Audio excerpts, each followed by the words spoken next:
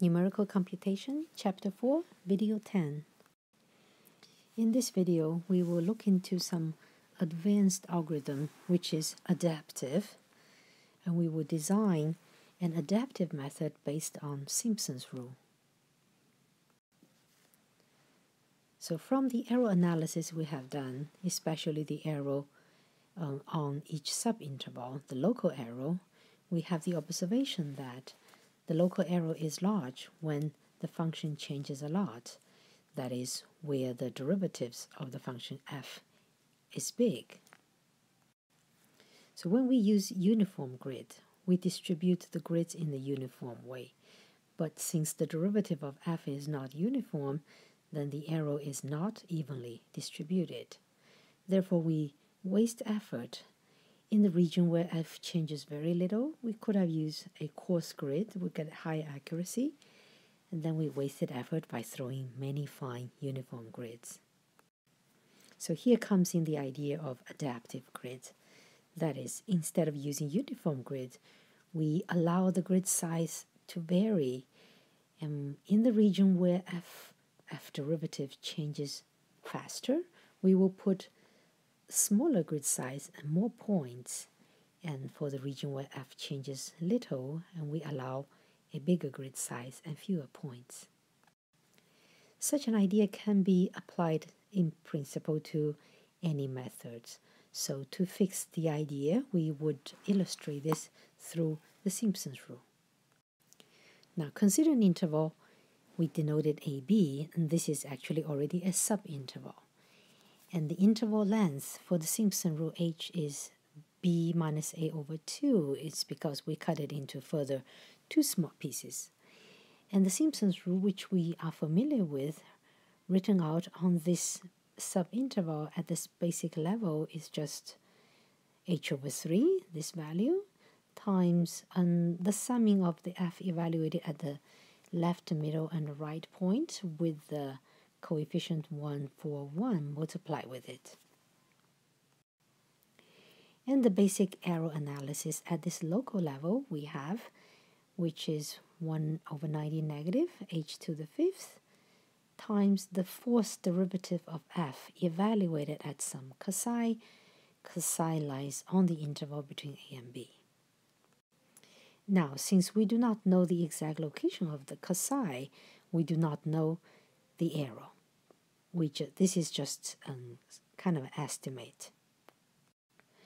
But anyway, we have this identity that is the integral we wish to compute will equal to the Simpson's rule S1 plus its error.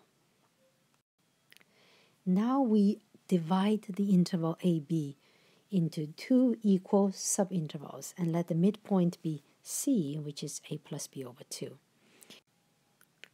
the integral of f from a to b theoretically equals to the integral of f from a to c plus the integral from c to b, right? We can cut the interval into two pieces and integrate on each and sum it up. And then for each um, little integrals, on, on half of the interval here, we throw in the Simpson's rule. That will be Simpson's rule base 1 applied on the interval from A to C plus its corresponding arrow and the Simpson's rule on the interval from C to B plus its corresponding arrow. Okay, so we're going to denote this by S2 plus E2 where this S2 is simply equal to the sum of S1 here and S1 here. So as we wrote down here, that is a, a better approximation. It's the Simpson's rule with a grid size halved and the corresponding arrow E2 will be this E1 plus that E1, so which we wrote here. And now, what are these E1s on these two subintervals? Well, they are basic Simpson's method on the interval AC and on the interval CB. Therefore, we have the formula, and that is the same formula here, where you have to fit in a psi 1 and a psi 2. That is, psi 1 lies on the interval AC and the psi 2 lies on the interval from C to B. Now here comes an important assumption. We actually don't know, but we assume that the fourth derivative of f does not change too much. When the interval AB are small and the interval AC and CBs are even smaller, then psi 1 will be very close to psi 2. So this is some kind of a reasonable assumption. Okay, So if they are almost equal to each other, then we know that E1 over AC almost equal to E1 over CB. Okay, with that piece of information, we go back and look at the arrow E2 here. What is E2 here? E2 basically equal to twice of E1. Let's just choose interval AC. And then E1 on the interval AC is the arrow for the Simpson's rule with the grid size halved from the arrow here, right? So I will have a factor 1 over 2 to the fifth that comes from this 2 here, okay? And then cancel a 1, a 2 here with the 1 of the power here. I have 1 over 2 to the fourth, E1 over AB. Okay, let's summarize. So we know the integral equals to s1 plus e1. s1 we computed, e1 we don't know. And the integral also equal to s2 plus e2. s2 we computed, e2 we don't know, but we know e2 equals to 1 over 2 to the fourth of e1. Approximately, of course. Then we can subtract these two equations and get the following.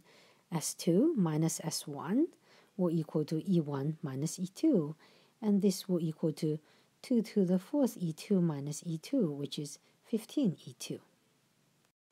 Now this is actually a wonderful discovery. This says that I can have a good approximation to the arrow e2. If I divide this equation by 15 on both sides, I get this expression for the arrow e2. So remember, S1, S2 is something we just computed. And if, if we do the subtraction like this and divide it by a 15, this gives me a good approximation to the arrow E2. So two important usages for this discovery. One is, if now I have an arrow tolerance, let's say epsilon, you want the arrow to be less than epsilon on each subinterval, then we can easily check if this is satisfied by this computation here, which I repeat here, to be less than epsilon. Okay, so this is called a priori error estimate. Second, I can use this to actually improve my result a lot. So if I add my arrow E2 on top of S2, I will get a much more accurate approximation to the integral. Okay, so let's do that. So E2 is just uh, this expression, S2 minus S1 50. I'll plug that in. It's a very, very cheap um, computation to do in the computer, and this will give you a much better result. And in fact, if you know that the fourth derivative of f almost equals to constant over those intervals, this actually give you the best approximation. Okay, but of course, in general, it is not constant, but it's very small. So here, let's take a look at some pseudocode that can be used to code this recursive algorithm. So provided that the function f is given and the interval ab is given and epsilon a tolerance for error is given. So that's a tolerance at each subinterval. Okay, so um, this is pseudocode, so it's not following um, any um, syntax of any particular language. It's just an algorithm. So I'm defining this function called Simpson. I send in f, I send in interval a, b, and I send in tolerance. And then I will compute s1 and s2 according to the formula. And then I will check S2 minus S1 in absolute value if it's less than 15 times the tolerance. That means it's good enough. So I will do one cheap computation as we observed earlier. This will give the best result. So I do S2 plus its arrow and then I return it in the answer. Okay, and if not, then I will cut the interval into half again. I'll find the C, which is a midpoint, and then I call the Simpsons rule and sending in FAC, the left half of the interval, and then half of the error tolerance. And then I also call it again by sending in CB, that is the right half of the inter interval and half of the error tolerance. Okay, and the eventual result here will be returned back to L left answer, and this one will be returned back to right answer. And then I'll add them up and then have it in the answer. Okay, so um, this is a little bit difficult to imagine what happened because you are calling your function inside yourself. So it's kind of a many, many layers you keep digging.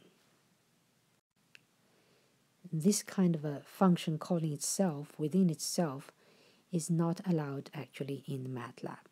But in other programming language, one can do that. And that's actually um, how these codes are done for those functions in MATLAB that uses this algorithm. It's coded in another language and then linked to MATLAB. Okay, so in MATLAB, um, you can call the function quad. That's basically the adaptive Simpsons rule. It does that. And then there is another quad 8. This is actually use even higher order methods.